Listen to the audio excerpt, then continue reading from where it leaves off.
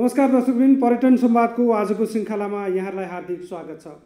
दर्शकबिन covid nineteen यसले विश्वव्यापी रूपमा पारेको प्रभाव र त्यसले नेपालमा पारेको प्रभावका कारण सम्भवतः सबैभन्दा बढी प्रभावित हुने एउटा क्षेत्रमध्ये त्यो पर्यटन क्षेत्र हो। पर्यटन क्षेत्रमा अन्तर्राष्ट्रिय उडानहरू रद्द हुँदाखेरि मानिसहरूको सामूहिक जमघट या आवत जावत बन्द हुँदाखेरि सबैभन्दा मारमा पर्यटन क्षेत्र परेको छ। यसलाई पुनर्जागृत गर्नको निमित्त यसलाई केही हदसम्म भए पनि अगाडि बढाउनको निमित्त सरकारले आफ्ना नीति तथा कार्यक्रम र बजेट मार्फत केही सम्बोधन गर्ने प्रयास पनि गरेको छ। पर्यटन क्षेत्र यसरी ठप्प रहँदै गर्दा वास्तवमा पर्यटन बोर्ड जसले सरकार र निजी क्षेत्रलाई समेत समन्वय गरेर यसभित्रका सम्भावनाहरू औल्याउने गर्छ। पर्यटन बोर्ड यति बेला के गरिराखेको छ? भोलिको पर्यटनको सम्भावना कस्तो छ र आज आन्तरिक पर्यटन जसरी सरकारले बजेट मार्फत पनि सम्बोधन गरेको छ त्यसलाई प्रवर्धन गर्न पर्यटन बोर्ड यति बेला के गर्दैछ? यसै विषयमाथि केन्द्रित रहेर आज हामी छलफल गर्दैछौँ।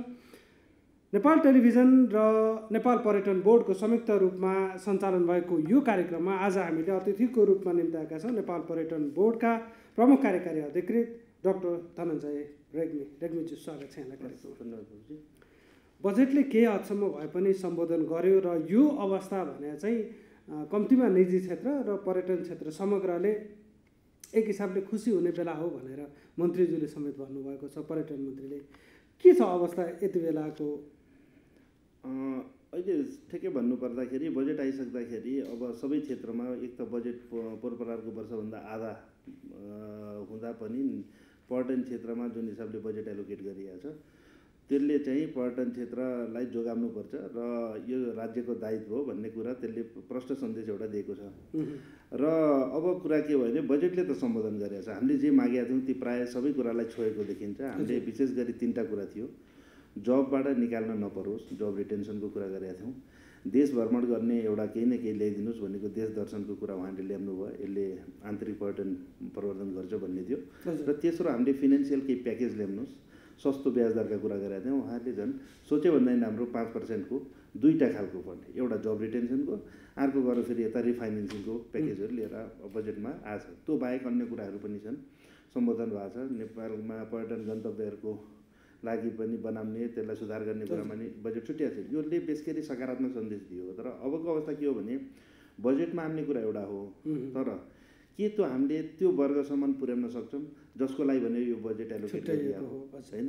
ठुलाले मात्रै लान नसकुन् सानालाई सनी पुगोस् अथवा सबैले उचित न्याय चाहिँ भित्राउनुहोस् त्यतातिर त्यही खालको कार्यविधि बन्नुपर्छ भन्नेमा छ। र अहिले नेपाल पर्यटन बोर्ड नेपालमा पर्यटनसँग आबद्ध विभिन्न सङ्घ संस्थाहरूसँग बसेर उहाँहरूले आजसम्म के जुन हिसाबले उहाँहरूको व्यवसाय थियो त्यो जुन हिसाबले उहाँको ट्याक्सको दायरामा हुनुहुन्थ्यो उहाँहरूले के कस्ता कागज उपलब्ध गराउन सक्नुहुन्छ त्यही अनुसारले हामीले कार्यविधि बनाऊ र एउटा हिमालमा भारी बोक्नेदेखि यहाँको फाइभ स्टार होटलसम्मका सम्पूर्ण कामदारहरूलाई जब रिटेन्सनको फन्ड पुग्न सकोस्। त्यस्तै ठमेलमा भाडामा लिएर सानो व्यवसाय होटल सञ्चालन गरिरहेकादेखि आफ्नै लोन लिएर फाइभ स्टार होटल बनाएका सम्मका प्रोपर्टीहरूमा उहाँहरूको इन्भेस्टमेन्टको रिफाइनेन्सिङ होस् र एघार बाह्र तेह्र पर्सेन्टमा रहेको लोन फाइभ पर्सेन्टमा झर्न सकोस्।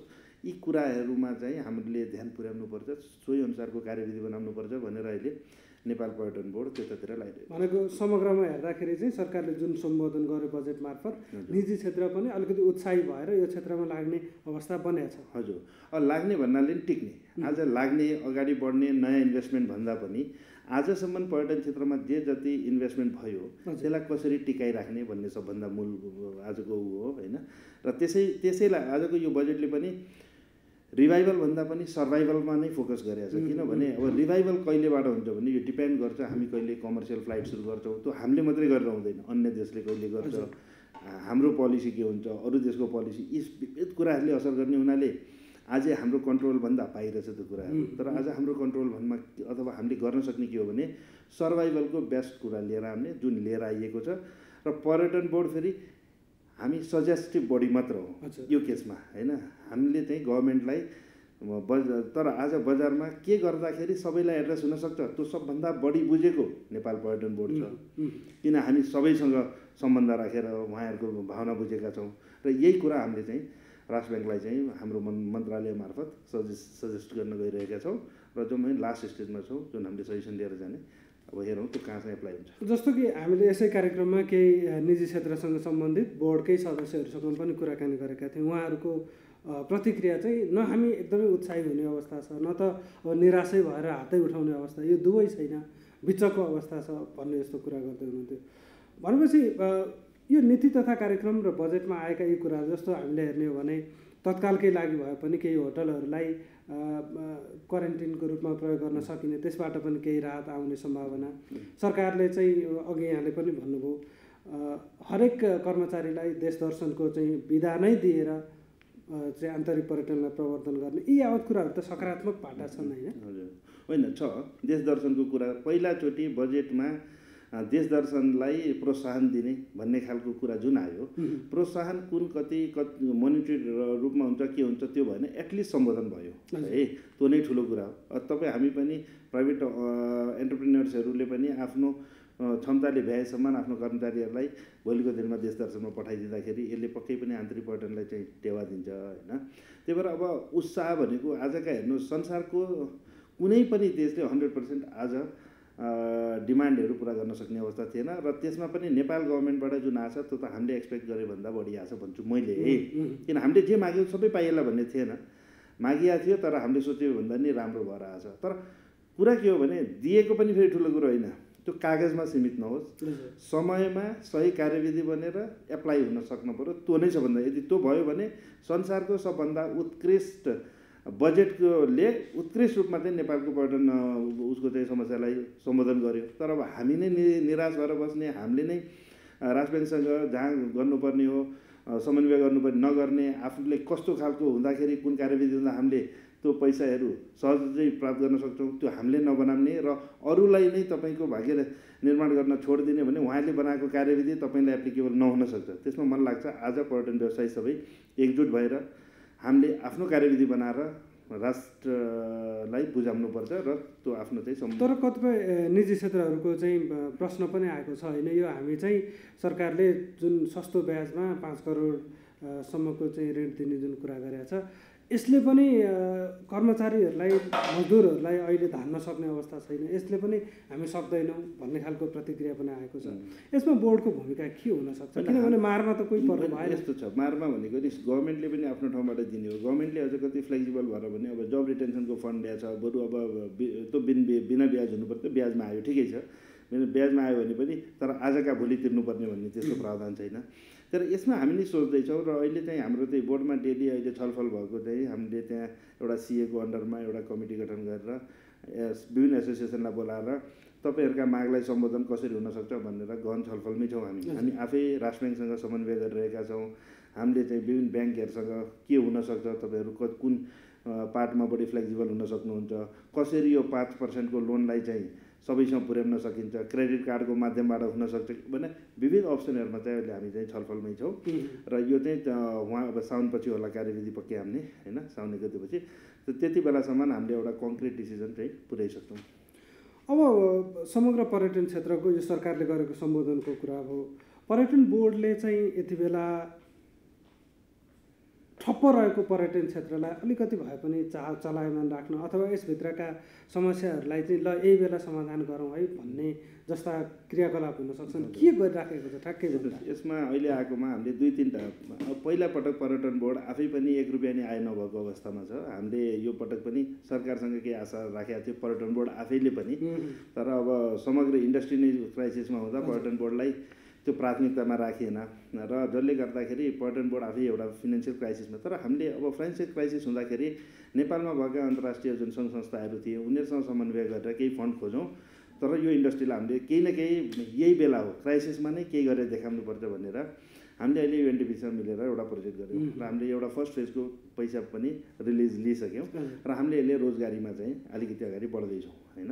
एक फेजमा हामीले तर लकडाउन खुल्लो ल रोजगारी जाने भन्दा हात हामीसँग फन्ड छ। हामी केही मान्छेहरू जुन स्पेसली जुन माउन्टेन गाइडेड ट्र्याकर्सहरू थिए उनीहरूलाई लिएर माउन्टेनका ट्रेलहरूको चाहिँ स्तर उन्नतितिर होइन तपाईँको माउन्टेन सरसफाइतिर हामी केही काम गर्छौँ एक फेजमा दुईमा हामीले अर्को सँग यो सँगसँगै अहिले पनि हामी आइएफसीसँग कुरा गरिरहेछौँ वर्ल्ड ब्याङ्कसँग कुरा गरिरहेछौँ। अ, कहीँबाट केही फन्ड लिएर आउन सकिन्छ कि लङ रनमा भन्ने एक पार्टमा हाम्रो एउटा विङ काम गर्दैछ। अर्को विङले हाम्रो के गरिरहेछ भने यो बेला हो नेपालमा भएका जे जस्ता नि किन हामीले दुई हजार पैँतिस सालमा बनाएका नीति नियम फी स्ट्रक्चरहरू अहिले पनि एप्लिकेबल छ माउन्टेनमा त्यो एप्लाई भइरहेछ तर त्यो आजको दिनमा साँच्चै नै यो वैज्ञानिक छ कि छैन कुरा होइन समय सापेक्ष छ छैन भने त्यसको चाहिँ रिभ्यू गर्दैछौँ। यसमा चाहिँ स्पेसली जस्तो भन्नुहुन्छ भने नेपालमा मेरै अफिस तल एकातिर टिम्स उठाइन्छ अर्को ढोकामा नेसनल पार्कको पर्मिटको फी उठाइन्छ फेरि कोही रिस्ट्रिक्टेड एरिया जाने भने इमिग्रेसनमा जानुपर्छ। एउटै मान्छे मुस्ताङ जानु छ भने तिनवटा ढोकामा गएर तिन ठाउँमा फरक फरक खालको शुल्क बुझाउनुपर्छ र उसको एक दिन दुई दिन यही शुल्क तिर्नेमा जान्छ भने चाहिँ यस्ता जुन हाम्रा अलिक अव्यावहारिक हिजोको दिनमा कुनै उसमा तिनलाई चाहिँ सहजीकरण गरौँ भनेर त्यतातिर नै अध्ययन गरेर हामीले अहिले चाहिँ कानुनी पुनर्संरचना मा अहिले चाहिँ गृह सामान्य प्रशासन तपाईँको वन सबैलाई एकमुष्ट ल्याएर मेरै शनिरकमा एउटा समिति बनाएर हामीले चाहिँ काम गरिरहेका छौँ त्यसमा। र यसले पनि केही न केही सुधार लिएर आउला भन्ने छ एकातिर। अर्कोतिर हामीले हाई माउन्टेनमा किनभने हाम्रो काम भनेको सजेसन दिने हेर्नुहोस् अध्ययन गर्ने बजारमा वर्तमान समस्या के हुन् जसले गर्दा निजी क्षेत्रलाई व्यापार गर्न गाह्रो भइरहेको छ अथवा पर्यटन प्रवर्धनमा गाह्रो भएको छ। विदेशमा विदेशीहरूका अगाडि नेपालको एउटा विदेशीले आएर यो ढोका एउटा फी अर्को ढोका गर्दा वाट इज दिस वाइ एउटा किन काउन्टरमा सँगै लिइदिए हुन्थ्यो नि? भन्ने खालका जुन प्रश्न छन् तिनलाई हामीले कम गर्नुपर्छ भने हामीले सहजीकरण गर्नेतिर गइरहेका छौँ र हामीले गभर्मेन्टलाई अहिले सजेसन दिएको छ र गभर्मेन्टले पनि त्यसमा चाहिँ बेसिकली पोजिटिभली लिएर अगाडि बढाइरहेको छ। त्यस्तै अब यो भयो फीको अर्को सरसफाइको कुरा नि हामी पर्मानेन्टली माउन्टेनहरूलाई नियमले नै बाँधेर कसरी सधैँ सफा राख्न सकिन्छ? हाई माउन्टेनमा जाँदा टोइलेट ब्यागहरू आफैले लिएर गएर त्यो डिपोजिटै फिर्ता लिएर आउने कि? माथि त्यस्तो चाहिँ हामीले कम्प्लिटली डिस्पोज। गर्न नदिने त्यो खालको चाहिँ चाहिँ कतिको प्र्याक्टिकल छ कति एप्लिकेबल वर्ल्ड संसारभरिका विभिन्न उदाहरण हेरेर नेपालमा एप्लाई गर्न सकिन्छ सकिन्न हेर्दाखेरि केही हदसम्म हामीले पोजिटिभ सिग्नल पाएका छौँ र हामी लाग्छ त्यो भोलिका दिनमा त्यो पनि गर्छौँ। त्यस्तै जुन जुन क्षेत्रमा जहाँ जहाँ चेन्जेसहरू लिएर आउनुपर्ने छ पोलिसी लेभलमा त्यसको रिभ्यू गर्ने काम हामी गरिरहेका छौँ। एट द सेम टाइम अब यहाँले भन्दाखेरि हामीले अहिले चाहिँ नेपालको ऐन दुई हजार पैँतिस सालमा बनेको ऐन अहिले चाहिँ लिएर आएको छ होइन? हजुर। अब लिएर आउन लागि छ अहिले त्यो लेख्ने क्रममा छ र संशोधन गर्ने क्रममा त्यसमा चाहिँ पनि पर्यटन मन्त्रालयको निर्देशनमा होइन मन्त्रीज्यूको निर्देशन सचिवको निर्देशनमा चाहिँ अहिले पर्यटन बोर्डले त्यसको मा सबै व्यवसायीहरूलाई बोलाएर छलफल चलाएर उहाँहरूका भ्यू लिएर मन्त्रालयमा बुझाएको अवस्था छ। अब यी सबै कुरा कुन हदसम्म सम्बोधन हुन्छ त्यो हाम्रो पार्टमा रहेन। तर छलफल गराउनु विचार लिनु उहाँहरूको सजेसनहरूलाई चाहिँ सम्बन्धित निकायमा पुर्याइदिने काम चाहिँ पर्यटन बोर्डले आजको दिनमा गरिरहेको छ। ठ्याक्कै त्यो एनकै कुरा गर्दाखेरि चाहिँ के सम्बोधन हुनसक्छ अथवा तात्विक परिवर्तन यहाँहरूले विगतमा गरेको अभ्यास र नयाँ ऐनले के सन्देश दिन सक्छ पर्यटन क्षेत्रलाई? हजुर अब यस्तो छ। सरस्वती हेर्दाखेरि दुई हजार पैँतिस सालमा ऐन बनाइँदाखेरि र आजको पर्यटनको परिभाषा नै फेरिएको छ। त्यो बेलामा विदेशीहरूलाई मात्रै पर पर्यटक नेपाल आएकालाई पर्यटक भन्ने खालको अवस्था थियो। आज चाहिँ हाम्रो आन्तरिक पर्यटनका कुरा गरेका छौँ।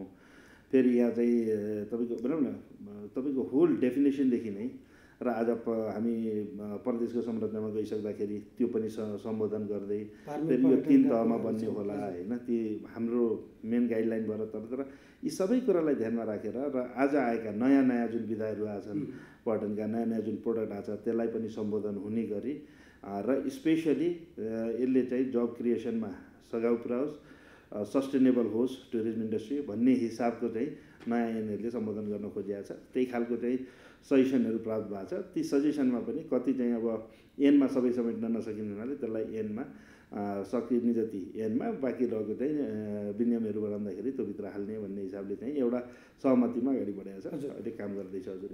अर्को पर्यटकै भित्र्याउँदाखेरि अथवा पर्यटकहरूलाई चाहिँ आह्वान गर्दैखेरि पनि यति बेला नेपालको प्राथमिकता अब कोरोना भाइरस यसले विश्वव्यापी रूपमा पारेको प्रभाव छँदैछ त्यसका बावजुद ठुलो सङ्ख्यामा हामीले विगतदेखि भन्दै आयौँ यति हजार यति लाखको सङ्ख्यामा पर्यटक भित्र्याउँछौँ भनेर। एकातिर यो छ भने अर्कातिर गुणस्तरीय पर्यटक भित्र्याउने कि सङ्ख्यात्मक हिसाबले बढी भित्र्याउने भन्ने दुईवटा कुरा छ।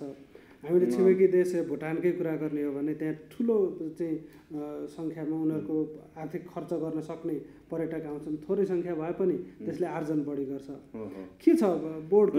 अब हामीले पनि अहिले के देख्दैछौँ अहिले यो विगत तपाईँको यही लकडाउन सुरु भएदेखि म विभिन्न वेबनारहरूमा संसारका विभिन्न खालका एजेन्सीहरूसँग तिनीहरूको माथिदेखि तल सबै लेभलमा चाहिँ मैले कुरा गर्दाखेरि के पाएको छु भने अबको कन्सेप्टको अलिकति पर्यटनको फरक हुन्छ। अब मास टुरिज्म भन्दा पनि सानो सानो ग्रुपहरू होला अथवा इन्डिभिजुअल ट्रेकर्सहरूको चाहिँ बढी बढ्ला। अब आजको दिन डिज्नील्यान्डका दिन गए हिमालका दिन आए पनि भन्ने पनि हुन्छ होइन? किन लोन्ली एरियामा वाइल्डनेस एरियामा एक्लै अथवा सानो फ्यामिली अथवा सानो ग्रुपमा हिँड्दाखेरि एकातिर सङ्क्रमणको डर कम। अर्कोतिर आफू सेफ छु र छुट्टै खालको एन्टरटेनमेन्ट इन्जोयमेन्ट अर्को चाहिँ तपाईँको बडी होल रिजुभिनेट हुने खालका कुराहरू भए होइन? हेल्थसँग रिलेटेड कुरा। यसले गर्दाखेरि त्यतातिरको एट्र्याक्सन बढ्छ भन्ने खालको चाहिँ एउटा फोरकास्ट छ। र त्यसलाई हेर्दाखेरि संसारमा नेपाल एउटा जस्तो राम्रो ठाउँ अर्को हुन सक्दैन। हामीले त अहिलेसम्म जम्मा तिन चार ठाउँमा नै ट्रेकिङ गराएको छौँ। नेपाल त पूर्वदेखि पश्चिमसम्म हामीले कति धेरै ट्रेकिङ ट्रेल बनाएका छौँ सञ्चालन राम्रोसँग हुन सकेका छैनन्। अब दिस इज अ टाइम त सबै बेच्नु हो। त्यही भएर अब अर्को कुरा आयो त्यही भएर मैले नि मासको म, हराएर अब हामीले अलि क्वालिटी मास टुरिज्म भनेको के हुन्छ जहिले पनि सस्तो हुन्छ एक प्रकारले होइन? टोटलमा रिभेन्यू होला अलिकति उस- तर रोजगारी अलिअलि क्रिएट भयो होला तर उनीहरूको जुन खर्च गरेको छ त्यो त्यति हुँदैन। अब हामी त्यही भएर अब मलाई लाग्छ नेपालले त्यो पनि फेर्नुपर्ने बेला आएछ र हामीले नचाहँदा नचाहे पनि नचाहँदा नचाहँदै पनि यो चेन्ज भएर जान्छ। अवस्थाले नै? त्यस्तो किनभने अब प्रत्येक मान्छे आउँदाखेरि नेपालमा हामीले अब एउटै गाडीमा धेरै मान्छे हाल्न मिलेन एउटै होटलमा धेरै मान्छे राख्नु मिलेन एउटै रेस्टुरेन्टमा धेरैलाई खुवाउन मिलेन ती कुराले गर्दा के हुने भयो? प्रत्येक ठाउँमा अलिअलि कस्टहरू बढ्दै जान्छ र समग्रमा त्यो बियर गर्न सक्ने मान्छे नै घुम्न आउने हो। र यो लामो लकडाउन संसारभरिको लकडाउनमा भरि यसले गर्दा के भएको छ कतिपय यो पार्ट टाइम जब गर्नेहरू जबलेस भएको छ धेरै बेरोजगारी बढेको छ भनेपछि अलि हाई लेभलको मान्छेहरू मात्रै जसले हिजो विगतमा सञ्चय गरेर राखेका थिए अथवा आज नै हाई लेभलको पोस्टमा छन् उनीहरूको मात्रै भरभर हुने सम्भावना बढी देखिन्छ। भनेपछि ऊ आफै पनि हिजोको दिनमा पनि हाई इन टुरिस्ट हुने हो उहाँहरू। तर आजको दिनमा पनि उहाँहरूको सम्- सम्भावना नेपाल जस्तो देशमा जाउँ भने किन हिजो नेपाल प्रायोरिटीमा नपर्दो होला। हिजो लस भेगस पर्दो होला डिज्नील्यान्ड पर्दा होला होइन सीतिरको क्रुजहरू पर्दो होला तर त्यो सबै के हो भने ती मासहरूलाई लिएर। अब आज चाहिँ नेचर बेस्ड माउन्टेन लोनली वाइल्डनेसका कन्सेप्ट भन्दाखेरि पक्कै त्यो सबै एउटा ठुलो मास चाहिँ नेपालतिर एट्र्याक्ट हुनसक्छ अब इट्स डिपेन्ड्स हामी कसरी गर्छौँ र यहाँले भने जस्तो त्यसरी आकर्षण गराउने अथवा यो विषयको चाहिँ प्रचार प्रसार गराउने विश्वमा यसलाई चाहिँ चिनाउने जिम्मेवारीमा बोर्ड यो भूमिका चाहिँ के गर्दैछ? यसमा चाहिँ त्यही भएर हामीले यी कुरालाई हाइलाइट गराएर अहिले हामी डकुमेन्ट्रीहरू बनाउने हामीले आजसम्म खिचेका डकुमेन्ट्रीहरूलाई फेरि नयाँ टेक्स्टहरू हालेर त्यसमा चाहिँ नयाँ तरिकाले कसरी अब बुझाउने हिजोको हाम्रो नारा एउटा हुन्थ्यो अब आज चाहिँ त्यही भित्र त्यही भिडियोमा छुट्टै नाराका साथ त्यसलाई गर्ने। र अहिले हामीले दुईवटा फेजमा बाँडेका छौँ। एउटा चाहिँ डोमेस्टिक प्रमोसन डोमेस्टिक टुरिज्मलाई कसरी चाहिँ प्रमोट गर्ने खालको उसका साथ भिडियो क्लिपहरू बनाउँदैछौँ भने अर्कोतिर सेकेन्ड फेजमा चाहिँ हामीले इन्टरनेसनल मार्केट इन्टरनेसनल मार्केटलाई नि पहिला जस्तो हामी सबै ठाउँमा एकै ठाउँको होइन प्रत्येक कन्ट्रीलाई स्पेसली वान स्टप डेस्टिनेसन भनेको छौँ जहाँ हामी डाइरेक्ट टच छौँ। वान एउटै फ्लाइटबाट आइदर हाम्रो आरएबाट होस् अथवा एनएबाट होस् अथवा विदेशी उसबाट फ्लाइटबाट त्यो देशमा को के छ उनीहरू कहाँ के छैन? हामी चाहिँ के दिन सक्छौँ उनीहरूले नदेखेको नपाएको? त्यो कुराको लाई बेचौँ त्यहाँ भने उनीहरूलाई भने सेपरेट भिडियोहरू बनाइदिन्छ। त्यो हिसाबले हाम्रो टिम अहिले कस्तो छ भने watch and you know just action लिएर एक्सनमा जाने भन्दा पहिला जस्ट जस्ट प्रिपेयर प्रिपेरेसनमा क्या? वाच एन्ड प्रिपेयर के हुँदैछ? प्रिपेयर गरेर बसौँ। चेन्ज हुँदैछ? प्रिपेयर हौँ। यो देश पहिलो खुल्छ त्यहाँ यसरी जाने यसरी यो लिएर जाने। हामी त्यो रेडी गरेर डिजिटल माध्यमबाट हामी आफूलाई प्रिपेयर गरेर बस्यौँ अन्तर्राष्ट्रिय स्तरमै हुन त प्रधानमन्त्रीज्यूले बिबिसीको चाहिँ बेलायत स्टु- स्टुडियोमै गएर पनि आफ्नो कुराहरू बताउनु भयो सगरमाथामा चाहिँ क्लाइम्ब गर्न त्यहाँ पर्यटनहरू जानेहरूको भिड त्यहीँ जाम लाग्ने जस्ता कुराहरू पनि थिए। त्यसलाई के रेगुलेट गर्ने अथवा सहज अब गर्ने? अब गर्नुपर्छ। हामीले सबभन्दा त एउटा गल्ती के गरेका छौँ भने सगरमाथा जसलाई पनि जतिखेर पर्मिट जतिले पैसा बुझायो त्यो सबैलाई दिने जुन अहिलेसम्मको परिपाटी छ त्यसलाई हामीले रोक्नुपर्छ होइन? खास भनेको एभरेस्टको क्यारिङ क्यापेसिटी कति हो? म त जहिले पनि क्यारिङ क्यापेसिटीको कुरा गर्छु होइन? हामी दुईवटा सिजनमा चढाउँछौँ। त्यो दुइटै सिजनमा कति कतिलाई पर्मिट दिने भन्ने चाहिँ क्लियर हुनुपर्छ के हजुरको होइन? त्यही भएर हामी त्यसमा क्लियर छैनौँ र मलाई लाग्छ अहिले हाम्रो तिन सय चार सय जान्छन् लाइन भएको छ होइन। अब यसले भन्दा बरु नेपालमा सगरमाथा चढ्नुभन्दा पहिला दुईवटा तिनवटा चारवटा कतिवटा पिक चढेको हुनुपर्ने त्यो पछि मात्रै जान पाइने। अथवा छ हजार मिटर माथिका यतिवटा पिक चढेको जान पाइने अथवा एउटै पिक एटलिस्ट किन नहोस् अर्को चढेको मात्रै जान पाइने भन्ने एउटा पोलिसी ल्याउँदा मलाई लाग्छ सगरमाथामा क्राउड अलि कम भइहाल्छ होइन? एउटा त हुनसक्छ अथवा दुईवटा पिकको प्रोभिजन राख्न सकिन्छ। केही न केही नयाँ तरिकाले सोध्नुपर्छ अथवा सगरमाथामा वर्षको यतिवटा कोटा हुन्छ। होइन नेपालबाट चढ्न चाहने जो चाहन्छ ऊ जाउँ भन्ने। फेरि यहाँ हाम्रो अर्को भनाइ के हुन्छ भने ए हामीले नदिएर के भने चाइनाबाट चढ्न सक्छौँ। ठिक छ त चाइनाबाट चढ्ने टेस्ट र नेपालबाट चढ्ने टेस्ट त फरक त छ नि। साउथ र नर्थबाट जाँदाखेरि त फरक छ होइन? मान्छेको कुनैलाई होला सगरमाथा दुई फेरि चढ्छु फेरि नर्थबाट चढ्छु फेरि साउथबाट चढ्छु होला भन्ने छ होला। त्यतातिर पनि ध्यान दिउँ र हाम्रो प्रोडक्टलाई धेरै सस्तो नबनाऊ भन्छु मैले चाहिँ। अर्कासँग कम्पेयर पनि उनीहरूले इन्भाइरोमेन्ट फी बेस गरी उठाएको छ। हामीले आजसम्म इन्भाइरोमेन्ट फी भन्ने चाहिँ माउन्टेनमा ट्रेकिङतिर कति लगाएनौँ। उनीहरूलाई लिँदाखेरि सबैले एप्रिसिएट गरिरहेको छ। हामी एक त फी लिने डराउँछौँ सस्तो बनाउन खोज्छौँ धेरै मान्छे चढाउन खोज्छौँ त्योभन्दा पनि हामीसँग सगरमाथा छ। यो सत्य हो। यसको चाहिँ यो यसलाई चाहिँ पिरिसियस यसको भ्यालु क्रिएट गरेर राखौँ। त्यही अनुसारले लिमिटेड मान्छेलाई पर्मिट दिउँ होइन? बरु बाध्य बनाऊ न अरू पनि ठाउँमा चढेर आउन् नेपालको इकोनोमी बढोस् धेरैले रोजगारी पाउन् धेरै गाइडहरूले रोजगारी पाउन्।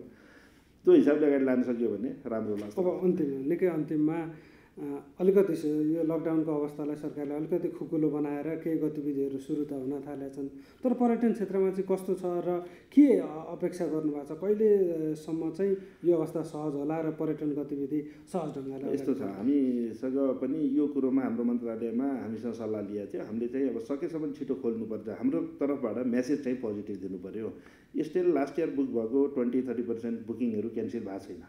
होइन?